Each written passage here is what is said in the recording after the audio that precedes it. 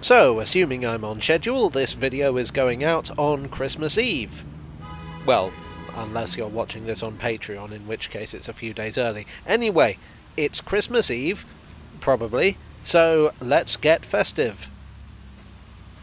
Here in Britain, Christmas is panto season. Now, I know I've got a few viewers outside the UK, so how do I explain pantomime to an overseas viewer? It's a kind of theatrical entertainment, usually based on a fairy tale or a folk legend. There's some song and dance and some corny jokes and a bloke in drag. It's. it's tradition, okay? One of the most popular subjects is the story of Dick Whittington. The story goes thus Dick Whittington is an orphan boy who travels to London hearing that the streets are paved with gold. When he gets there, he discovers that if the streets ever were paved with gold, it's long since been nicked. He ends up working in the household of a wealthy merchant named Fitzwarren. While there, he's bullied by the cook and generally has an awful time of it, but he falls in love with Alice, Fitzwarren's daughter. Dick uses the first penny he earns to buy a cat, which is really good at killing rats and mice. Fitzwarren is planning a venture to some exotic location, probably Morocco, but it depends on the version of the tale, and his servants each have to invest something. All Dick has is his cat, which he reluctantly sends on the mission. Having given away his only friend and consolation, Dick becomes miserable and decides to leave London. But he gets no further than Highgate Hill when he hears the bells of Bow Church, which seem to say, Turn again, Whittington, Lord Mayor of London. Turn again, Whittington, thrice Mayor of London. Having a history of making life choices on questionable pretexts, Dick takes this as a sign and returns to London. Meanwhile, it turns out that the King of probably Morocco is greatly troubled by rats, and he promises half his treasure to anyone who can get rid of them. Enter the cat, which kills all the rats, and so on the ship's return, Dick becomes immensely rich. He marries Alice and indeed winds up as Lord Mayor of London three times, and he lives happily ever after. The moral of the story is you should make major life decisions without thinking things through or doing basic research, and everything will just all work out somehow. But behind all this is a real person there actually was a Richard Whittington. He did actually come to London to seek his fortune, and he actually did become Lord Mayor of London three times.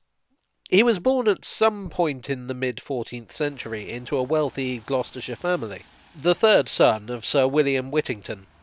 Sir William died in 1358, so Dick did lose his father, but obviously it's not like he was alone in the world without a penny to his name.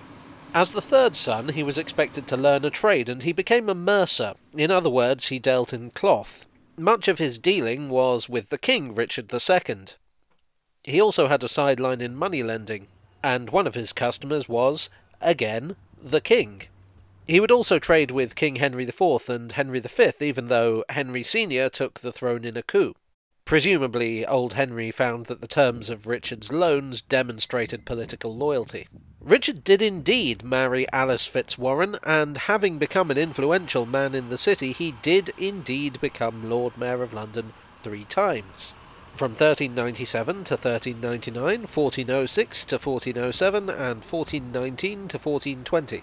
He may have had a cat, but if he did, there's no surviving contemporary historic record of it. So the question arises why does this man get his own folk tale?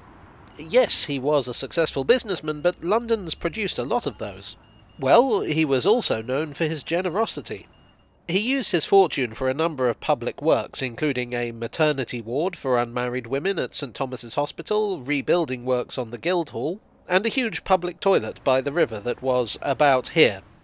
I don't know if I'm allowed to be filming here. He donated extensively to charity, he had no children, and when he died, he left his fortune to continue his philanthropic works in the city. There's a tendency to mythologize figures who are notable for something. Lady Godiva probably never rode naked through Coventry, and Isaac Newton probably never had an apple fall on his head. I don't know if Isaac Newton ever rode naked through Coventry, but I wouldn't put it past him, to be honest. In just the same way, the tale of a businessman and philanthropist becomes more and more elaborate. He turns from a man born into wealth to a poor orphan, and the business acumen that brought him his fortune becomes a prophecy spiced up with a little happy coincidence. This story was well established by the start of the 17th century and has remained a perennial favourite ever since. The real story is far less romantic, so the fairy tale, for better or for worse, is what we remember. These days, Whittington, the folk character, has become something of an icon. Show a British person the image of a young man carrying a bindle with his cat by his side, they'll instantly know who it represents. There are other folk heroes of London, but none is quite so famous as Dick Whittington. And his cat, of course. Well, I do hope you enjoyed this video. Please do click like if you did, and subscribe if you want more of London's history.